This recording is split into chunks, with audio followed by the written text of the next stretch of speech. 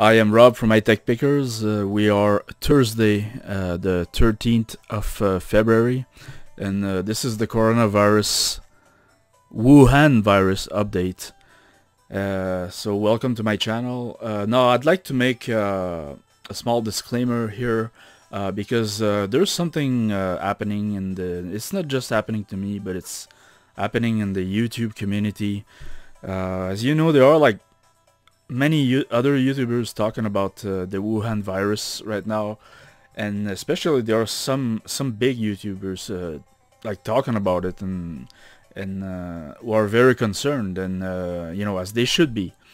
Uh, YouTube has decided to crack down for some reason that uh, I can't I don't want really want to get into.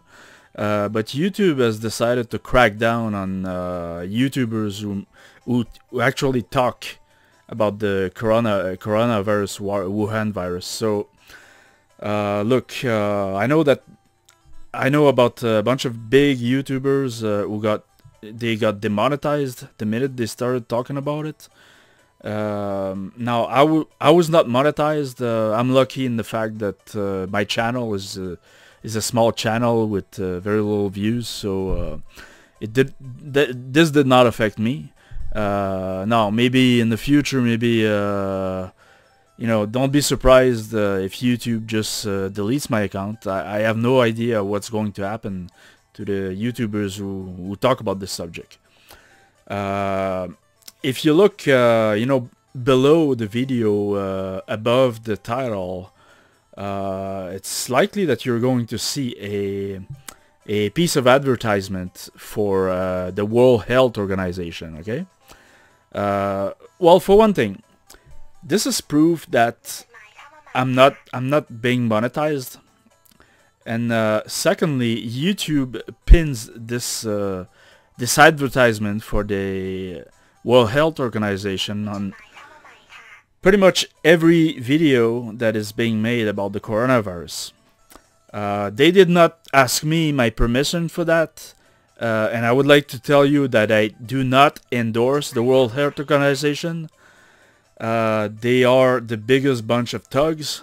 All right, and uh, I, you know, it's in times like this that you see just how corrupted these uh, these organizations. Uh, it's unbelievable. Uh, this the Dr. Tedros guy, I, you know, I can't pronounce his name properly, so I'll you know, everybody knows who Tedros is. Uh, now this morning it looks like they, they've sacked him. They've gotten rid of him because he was uh, too much of a liability for the organization, obviously. Uh, this guy, he's a piece of work.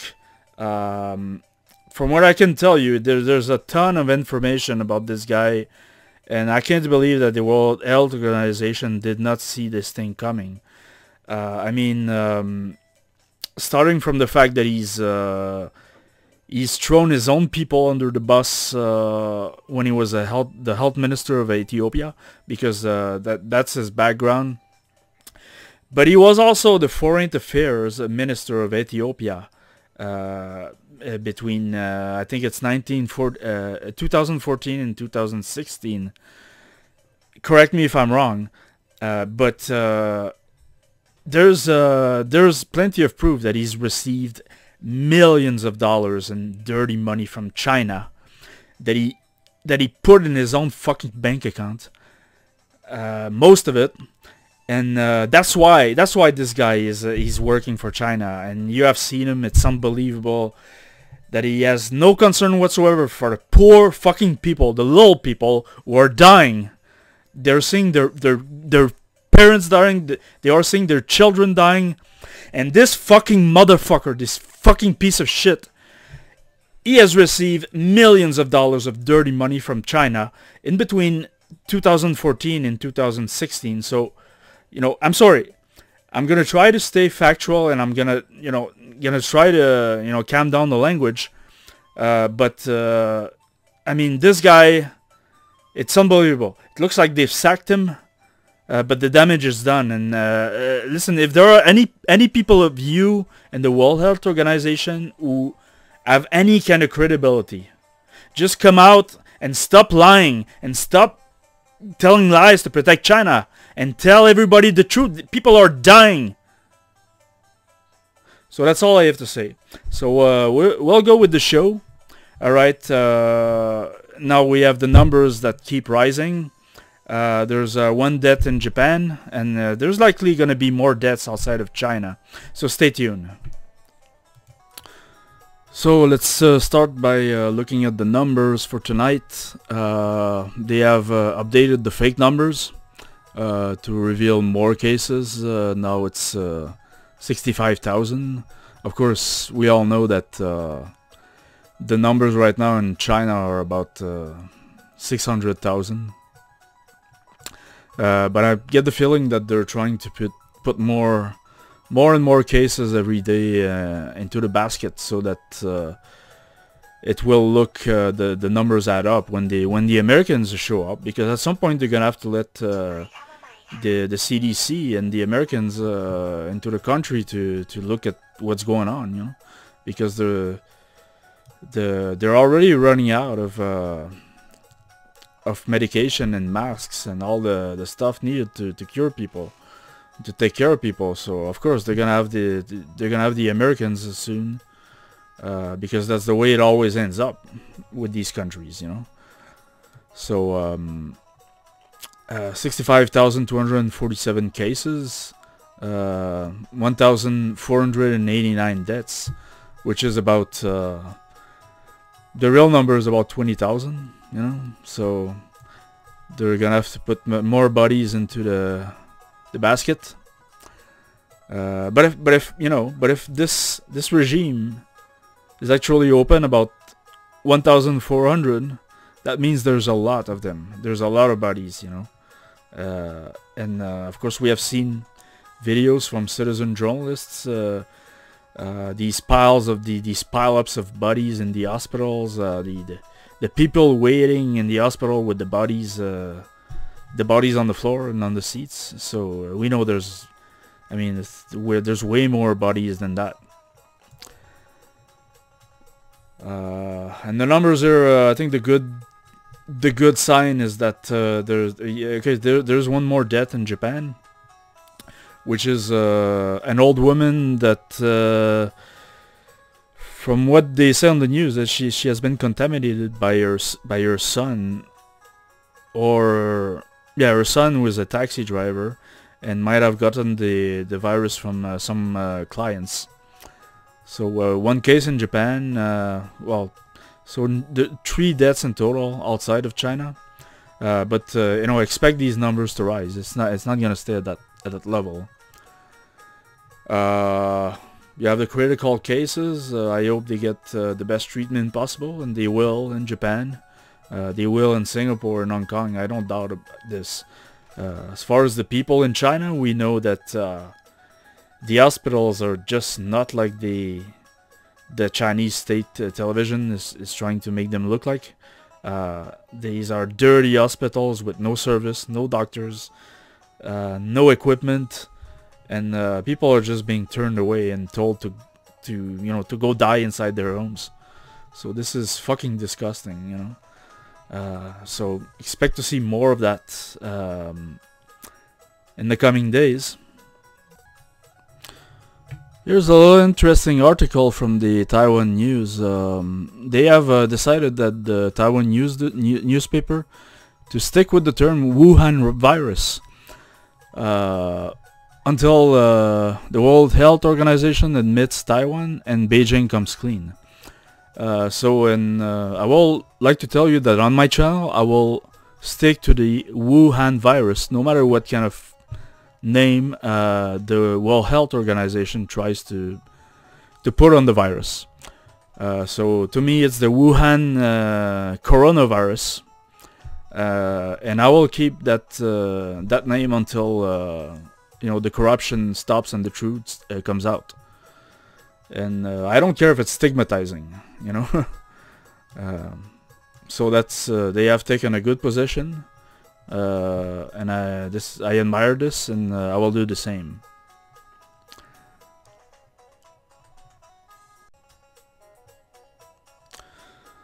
It's funny because this morning I was um, I was uh, kind of watching the World Health Organization update, and um, the Tedros guy wasn't there.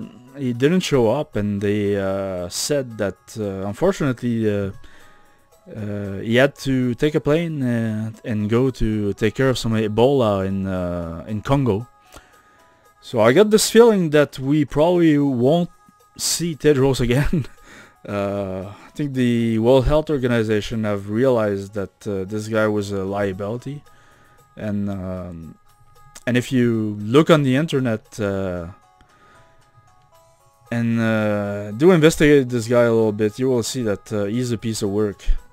Um, he was uh, a minister, long-time minister in a government that's um, that is known a, go- a government uh, that has been known for uh, numerous violent, uh, uh, numerous human rights abuses in Ethiopia, um, and uh, you know he's one of those uh, those guys that has spent pretty much all his life in the in the in a government of a of a very one of the poorest countries in the world, and he he has a very big bank account as uh, as what I've been told. So you know we have names for scumbags like that, but I'm you know I'm I'm gonna try to stay factual. Uh, he's faced allegations of uh, lying about cholera cholera outbreaks in his country. Uh, you know uh, to please his government, uh, which led to like hundreds of people dying. Uh, at some point, uh, you know, this guy has such a good judgment that he appointed. Let me be clear. He appointed Robert Mugabe uh, as a goodwill ambassador uh, of the World Health Organization. Now, if you uh, know who Robert Mugabe is, he was the dictator, the brutal dictator of Zimbabwe, and um, I mean, it's, it's like uh, it's like um, appointing uh, Adolf Hitler to, uh, you know, the the Ministry of Sports or something. You know, uh, it's fucking unbelievable the lack of judgment that this asshole had. Uh, you know, as a as a minister of uh, in his country's government or uh, in the you know as as a member of the World Health Organization. And uh, you know when he came, uh, the, the, you know the first day uh, when he did that uh, press conference about the coronavirus, and he he started uh, praising China that uh, China had, had done, you know, had responded in the best way possible to this epidemic. There is another member of the World Health Organization who broke ranks. his name is John McKinsey and he said, no way, I'm not standing up for this. China's attitude has been reprehensible from the beginning. And they, they still are reprehensible. And he probably lost his job, right? But, um, I mean, you know, and just look at all the stuff that's there on the internet about this guy. Uh, I can't believe, uh, I can't believe, uh, like nobody saw this coming. And I can't believe that this guy is still uh, is still in a, a position of power in the in the World Health Organization. So just look around uh, about all the corruption, uh, you know that about the World Health Organization is disgusting.